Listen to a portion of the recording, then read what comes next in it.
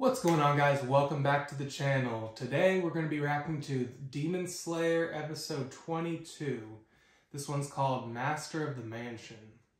So I guess this is the guy in charge of all the Demon Slayers is what I'm assuming. We're going to meet this guy. Pretty excited about it. He has to be super, super cool. Like I imagine if Muzan is the Master of the Demons, I feel like he got someone similar on the Demon Slayer side. Could be wrong. I think he, he might have psychic powers. I don't know. On the last episode, we saw the ending of the Mount Gumo arc. We started off diving into Rui's backstory, which was pretty tragic, I'll be honest. But I mean, it's just like, he was so messed up. It's hard to feel bad for him.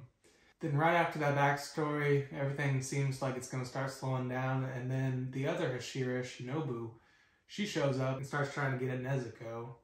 Giyu remembered Nezuko and Tanjiro, and he's like protecting them, which honestly, if he wouldn't have done that, Nezuko would have been gone. There's no chance Tanjiro could have saved her or done anything at that point. He was so beat up. And plus, Shinobu is probably just way better than Tanjiro at this point. Like, Tanjiro's cool and all, but she's a Hashira. Like, she probably has a lot more knowledge and is just way better in general. We saw Zenitsu all bandaged up. He's looking better. We saw Inosuke get carried down the mountain. He's really low in spirits right now. He needs a self-esteem boost. He needs to get some wins. Hopefully once he gets healed up, they can go on an adventure together again, and then he can get some really good wins and start feeling better about himself. It's going to be interesting to see what happens. When Tanjiro woke up at the end of the last episode, he was surrounded by Hashiras, and I don't know what that entails. Maybe they're also going to be like, hey, you're cool. We saw what you've been doing. Like, give them some props, but I doubt that's what's going to happen. Um, I've definitely, I feel like I've seen the guy that's the blonde guy with the long flowing yellow hair. I feel like I've seen him. It might have been in promos, but uh, it's going to be interesting to see these new people, see how they tie into the story. And hopefully we got some good fight scenes coming up. Someone said in the comments, like, we got some good fight scenes, so I'm excited to see that. Anyways, guys, if you haven't already, like, comment, subscribe, do all the things that you do, and let's get right into the video.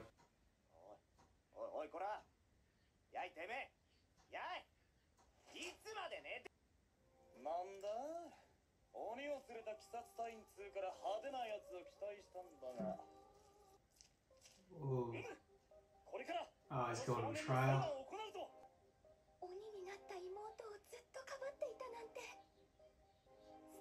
She gets it. Whoever that is. It's Giyu.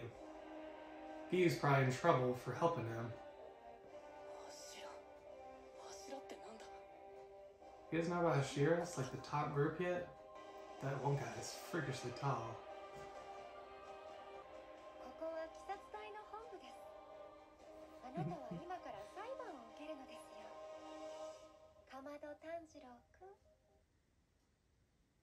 the way Shinobu talks is just like so sweet sounding, but it's also so creepy. it's like creeps me out. I don't know why. Master of the Mansion. I'm excited to see this dude. this guy's standing like this. He's got so many veins in his arms.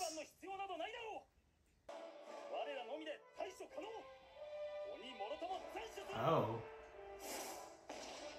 He's just gone for the beheading. Please don't. This guy likes flamboyance. Stone Hashira? So they each have their own skill set. Huh. Miss Hashira? She's not even thinking about the trial.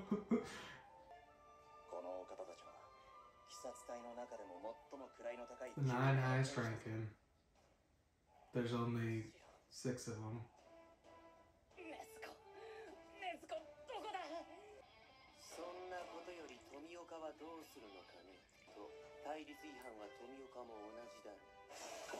Where even is he? Oh, he's just right there. He said people didn't like him, so maybe that's true.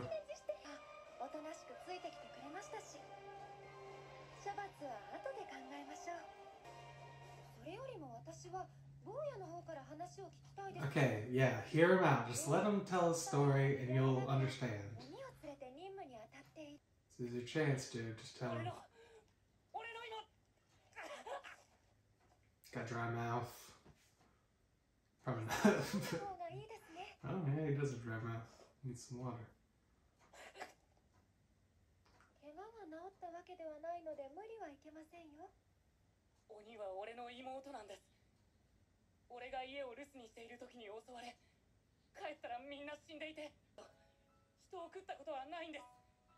今までもこれからも。早くこの哀れな子供を殺して解き放ってあげよう。聞いてください。禰豆子が鬼になったのは2年以上前のことでその間禰豆子は人を食ったりしてない。口先だけでなくド派手に証明してみせろ Prove it to us with max flamboyance. I like this guy. だっけあの鳥 That person's just got their head in the clouds. I'm I, that missed one. I'm excited to see what they could do. 様がこの feel like they're ことを把握 crazy. してないとは思う勝手に処分しちゃっていいんでしょうか Now get the master, please.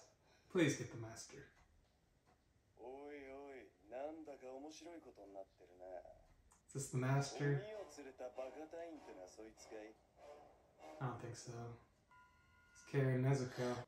品津川さん勝手なことをしないでください鬼がなんだって坊主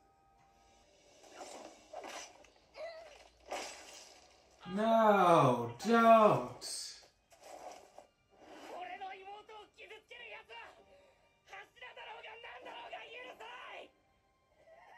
Get him, Tanjiro. I don't like this guy. He's just doing what he's supposed to do.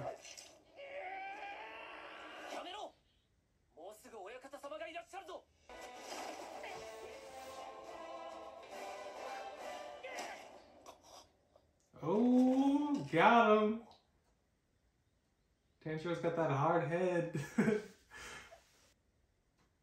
Tanjiro, my boy.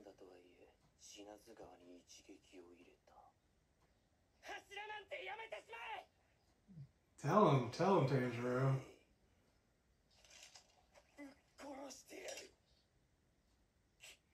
Need the master to show up now. Master has arrived. Okay, let's see. See, this is what I expected the master to be. Just some calm dude. Looks like the top of his face is messed up. What happened? He probably was in a fight with Muzan or something. So I'm assuming he's blind, but I really want to know how that scar happened.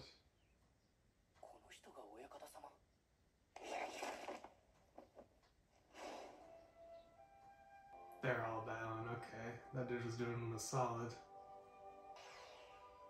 Makes you wonder, why is he so revered?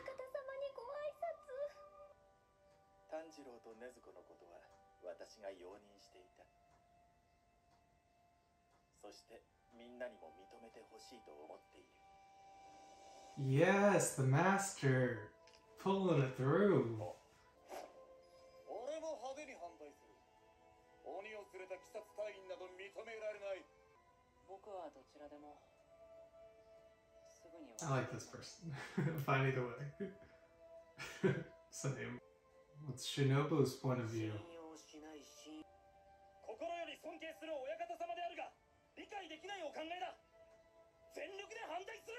They all oppose it. こちらの手紙は元柱である鱗滝左近寺様からいただいたものです子は強靭な精神力で人としての理性を保っています。にわかりは信じがたい状況.でもない事実です。もしも禰豆子が人に襲いかかった場合は、かまど炭治郎をお呼び。鱗滝左近寺富岡義勇が腹を切ってお詫びいたします To commit seppuku if she actually eats someone? And Giyu agreed to it? And you know Tanjiro would do that for his sister? Wow, that is awesome. というのか死にたいなら勝手に死に腐れよ人を襲わないという保証ができない証明ができない人を襲うということもまた証明ができない Yeah, you can't prove it either way. 禰豆子が2年以上もの間人を食わずにいるという事実があり For real. する側もそれ以上のものを差し出さなければならないこの炭治郎は鬼舞辻と遭遇しているそんなまさか柱ですら誰も接触したことが They know that he's actually been in contact with Muzan himself.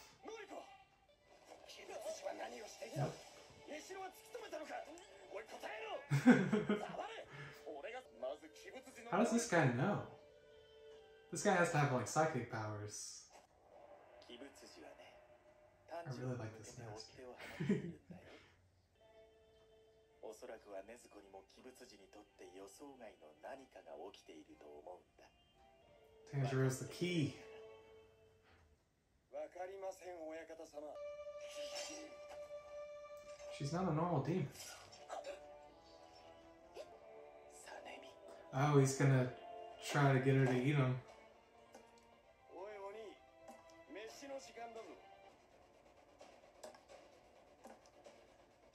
Nezuko's not gonna eat you, bro. She probably is just thinking that smells bad. Why are you torturing her? She's been through enough. I get what he's doing.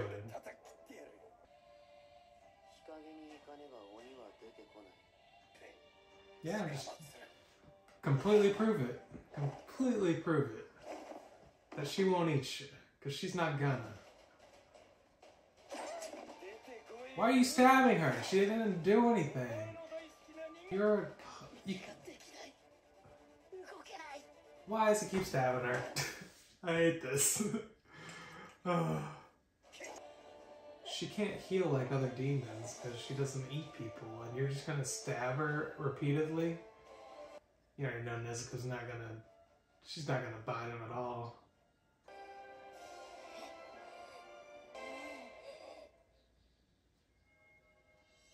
Oh man, come on. I should have known that was coming right then. They had to end it right there. Ah. I mean, I get he's trying to prove a point, but why are you stabbing her so much? She doesn't have the same healing though that demons have. It's gonna take her months to recover. And it's just, I don't like that. so we gotta meet some of the Hashiras. It's kind of cool. They all have their own like specialty. There's like mist, snake guy, stone, wind, butterfly. You know, Giyu is obviously water.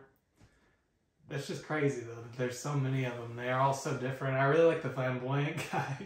He's just like, make it flamboyant. And like, I just really like him. And then the master comes out and just, he's what I've been looking for. Someone that is respected. Everyone respects him and his decisions. And I'm sure he's powerful too. And he just comes in and like, it's like, hey, she might be a demon, but she hasn't eaten anyone in over two years. And Tanjiro, Urokodaki, uh, Tomioka, Giyu, they'll all commit seppuku if she ends up eating someone. Which, if you're not familiar with Japanese culture or like samurai culture, you and you die. You stab yourself, do a little, you know, side to side, and you die. It's what you do to like basically it's like an honor thing. Um, if you like feel like you've dishonored your family or if you feel like you're gonna bring dishonor to your family, a lot of times that's what they would do. Rather than getting getting taken prisoner, they commit seppuku, and it's it was viewed as better. Um, it's just like a, a sense of pride thing. But that just is really cool because now you get to see Giyu is like full in with her. Like he's saying, I will end my life if she does anything to harm a human. And that's just getting that seal of approval from two, from a former Hashira, from a current Hashira, and then Tanjiro. That's just a big, big boost for Nezuko's case. And I'm glad that the master was able to see it from that perspective and he was able to, um, you know, give them the chance that they need and it's it was really surprising to me also that none of the Hashiras had ever even crossed path cross the path of Muzan.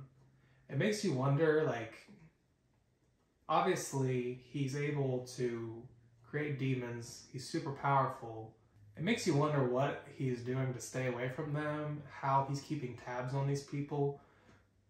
Muzan has to just be crazy smart and crazy powerful. He probably has a lot of people working around him. I'm sure like some of the top 12 demon moons are like and location wise they're probably pretty close to Muzan I'd imagine. So you know, it's probably crazy. Like if you get too close to them, it's probably crazy. No one was really on the side of Nezuko getting to live. Um, everyone objected to it, besides like the people that we already knew were going to agree with it, like Giyu and Tanjiro and Urokodaki. But one thing that I thought was interesting is Shinobu, the butterfly demon slayer, she refrained from speaking when everyone was giving their opposing sentiment towards Nezuko being kept alive. It showed Shinobu, and she just uh, was looking at the ground. She wasn't even, she didn't say anything. So it makes me wonder, like, maybe she realized something and is okay or more okay with Nezuko. She's probably not fully sold on it, but maybe she's more okay with it now. That's just what I I think from watching that one scene. So now the wind Hashira, he is testing Nezuko to see if she'll bite him. She's not gonna.